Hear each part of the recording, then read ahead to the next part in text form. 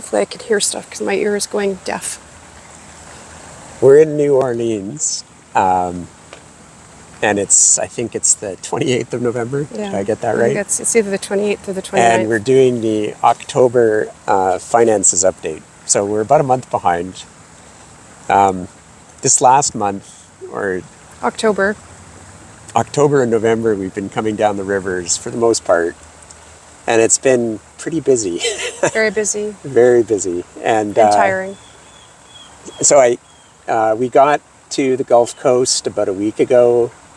Uh, it was a bit of a shock for me. I, I'm not sure how Sandra felt about it. It was kind of strange to suddenly come off the river system and bang, you're in the Gulf Coast, uh, it, which is all good. I mean, it was kind of cool actually. Um, but But it just seemed like a relentless six weeks. Yeah, well, not, I shouldn't say relentless. That implies that we didn't have a good time. No, we had But it was yeah. it was very much the rivers changed a little bit as we went down, but it was very twisty and windy. Yeah. And um, a lot of sameness at certain points, but a lot of beauty. So as soon as we got to the Gulf Coast, just outside of Mobile, we uh, pulled the boat out, put it on the hard. We've been doing. Um, there's nothing wrong with the boat. That's what everybody asks when I say it's on the hard. We're just doing projects uh, because we knew we had to change the zincs. We took the opportunity to do a couple of extra projects, and um, because we're doing it around the U.S. uh, Thanksgiving. Thanksgiving long weekend, everything's just taking a little bit longer than we would have hoped, but whatever, it is what it is. And we're not on a schedule. Yeah. We keep having to remind ourselves we're not keeping up to anybody. Yeah. This is our trip. We're not, um, So, you know, whether we're here for two or three extra days doesn't matter. so that's a long way of saying we're going to do the October uh, update for finances. Uh, we're in the botanic, bot- botanical gardens in um, New Orleans. So if I could interject, we've been trying to do these updates in major cities beside a landmark. So in Toronto, we did it with the CN Tower. Um, St. Louis, it was the, the Arch, of course. And, um, you know, the, the, the big thing here in New Orleans is Jackson Square. Yeah. But it was very busy even this morning. And I think when we're filming, we're still a bit self conscious having people watching us when we're filming. So I don't think I would have felt comfortable doing it there. But Yeah. the city park is quite beautiful. It's about three miles long. And the botanical gardens are within that city park. And, Yeah. it's, and it's quite lovely. I don't know if you could make it out. Maybe we'll grab a picture from the front, but we're sitting right behind the flute player. It's a En- statue of Enrique something or other is the, the uh, sculptor. Anyway, that that was a very long way of uh, saying we're going to do the finances. Right. So Right. I hand that over to you. So we'll start with groceries, which seems to be the one thing that people react to uh, when we post it. But uh, in October, we spent 849 Canadian. Last month was almost 1400, so you'll notice that's quite a big drop. And all I can say about that is that I stopped planning for Armageddon. So instead of every time we could get to a grocery store, I just stocked the whole boat. We started just shopping for the things that we needed three, four, five days ahead, like Yeah. fresh fruit, vegetables, whatever. And, and I would say when we get back to the boat in the next couple of days, we're going to have to do a fairly big grocery Yeah. shopping because we finally run out of things like peanut butter and the oatmeal's running down. There's a couple things. A lot of the now- staples that I ran out of my decaf coffee beans finally. I've been picking up the specialty beans in places that we've been to, and I actually had to start drinking the full juice kind the Yeah, last couple days. I still I don't like. have many bags of coffee to go through. Yeah. Yeah. So anyway, so there's there's going to be a little bit of a, uh sh- grocery shopping probably before the end of November. Yeah. In the next couple of days because we have a car rented. So eating out. I'll do that one because it's kind of related to groceries. It's a bit higher than last month. We spent 11.91 in September Canadian and 13.60 Canadian in October, which is about a thousand American. Now, uh, 10 or 11 days of October, we're still in Hammond. So we actually were in um, Chicago a little bit for the first part of that month. So that explains a little bit of it. Plus, we don't really feel like we're eating out terribly much, but when we do, it's often with other uh, Yeah. boaters and it's sometimes in nice places, which we really like. Yeah, the, I mean, the bottom line on eating out is, um, I think, just like about anywhere you go now, it, it's um, it's not cheap. No. I mean, it's not horrendous, but um, it adds up.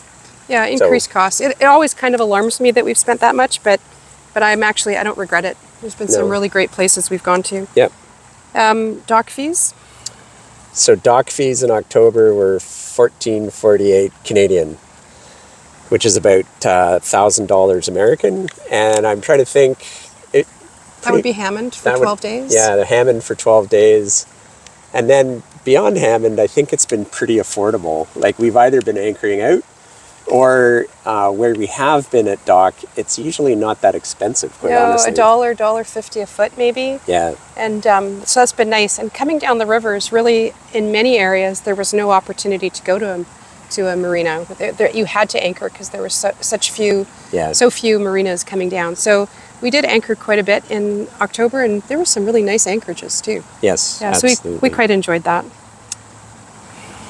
Sorry, what's next? I, I'm not as prepared for this as Sandra. Boat fuel. Boat fuel was um, $470 Canadian, $347 US. The reality is, we are moving every single day. so, uh, boat fuel is a simple reality. I, ours is pretty low. It's funny, right? Um, compared to, I'd say, the majority of loopers, our fuel costs are pretty low. We have friends who are in a sailboat who are spending about a third of that. Easily a third. Yeah, so um, it really, boat fuel could be all over the map. Um, the other thing I'd say about boat fuel is, of course, we're benefiting from the fact that we're with the current.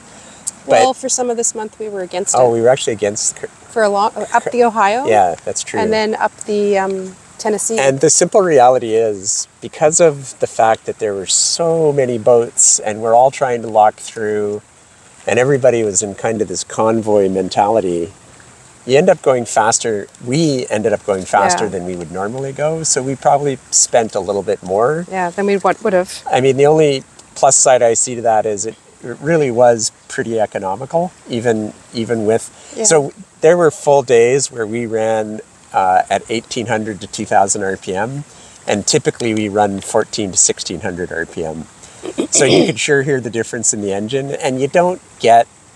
I mean, we were probably getting an extra mile, mile and a half of speed, um, but it really tapers off yeah, when you're trying to push that hard. And there was one day into um, Little Diversion Channel, and if you watched the episode that just was uploaded last week, um, you'll know we went 100 and basically 110 miles that day, and the way we did it to try to get in before dark was to push it that yeah. 1800 to 2000. So uh, just in the last couple of days, coming to the um, Gulf Coast, we started to slow down again, which was actually kind of nice. Yeah, it was nice. We made it through the last locks, and um, I suspect we won't be pushing the boat as, no. as hard as we have been. We, and we're going shorter distances. We, there was one day we just went for three or four hours. And the only thing I, we noticed, and I don't know if it's related, I mean, there is a reality of, of going as far as we've gone, um, is uh, we, we did get a um, increased drip rate from our um, stuffing box for our propeller shaft. So running faster,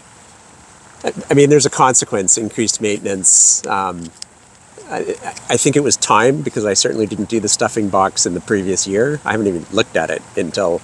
Well, not in any major way. Yeah, until you've, a week you've looked ago. at it, but you just haven't gone so, in there with with wrenches. So. Um, anyway, anyway, that was part of the projects I, that we're doing think, now. I still think we're doing well. Okay, so boat upgrades and safety. As you know, every month up until now has been pretty big because we had the heater installation and we bought a whole bunch of stuff that we had planned to buy. But this last month was about 273 Canadian, about 200 American. Yeah. And um, I'll, I'll let Chris talk a bit more about that, but that was, you know, we just didn't have time to do anything, even if we wanted to. I think most of it was an oil change. I, uh, most of that expense. You, you end up spending about 40 to 60 dollars on oil, um, a little bit additional on filters. I'm not sure what else. I, I oh, think I stocked filters as well. Yeah, that might have been it.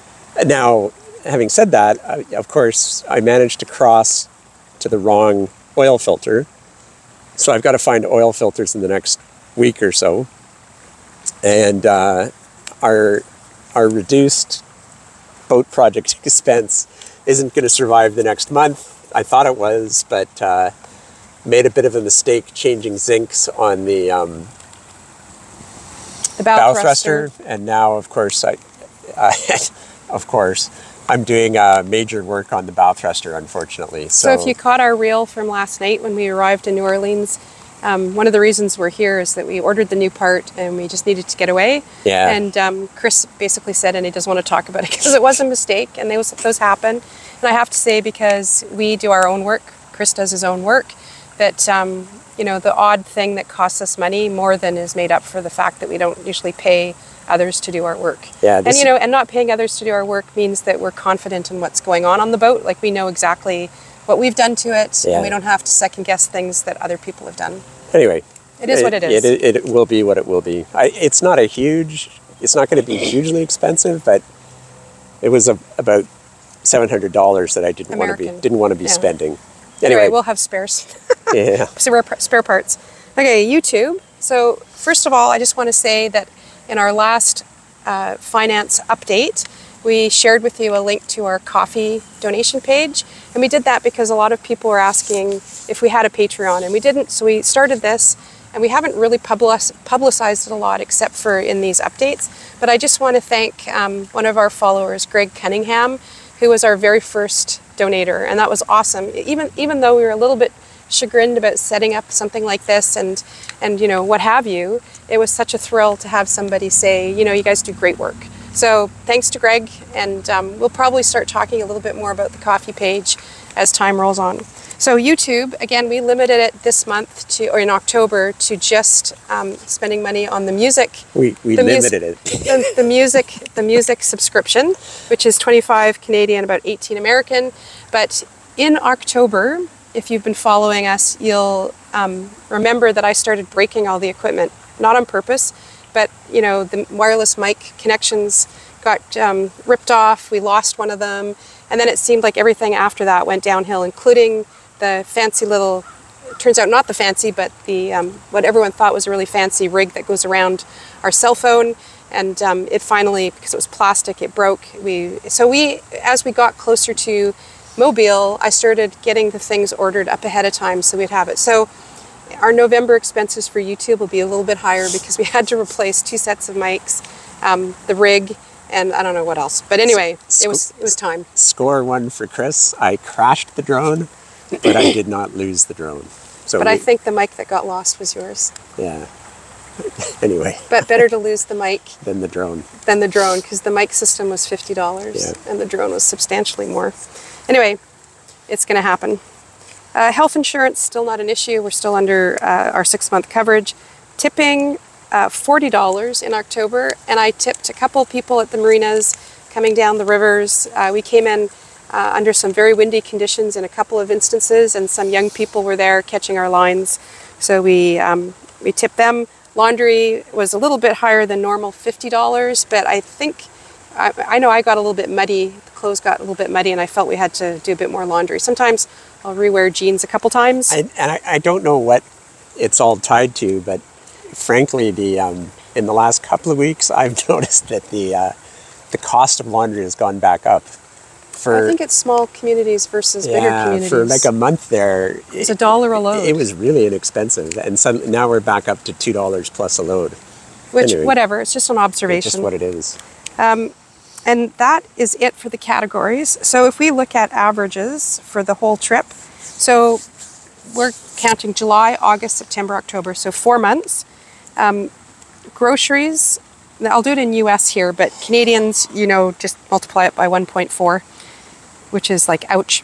So our average per month right now is $749 American, and that includes those very high months. Eating out is 775 American. Uh, dock fees are about a thousand. Uh, some of the stuff isn't worth talking about, but our boat upgrades fell to a thousand dollars on average in a month. But that's because we had a very low month last month. Uh, boat uh, YouTube um, average 252, but that includes the drone. So we're amortizing that drone drone over a couple of months here Yeah, we better not lose it. which is about $700 a month American, and that is Uber rides, it's trolley cars, it's entrances to museums and attractions.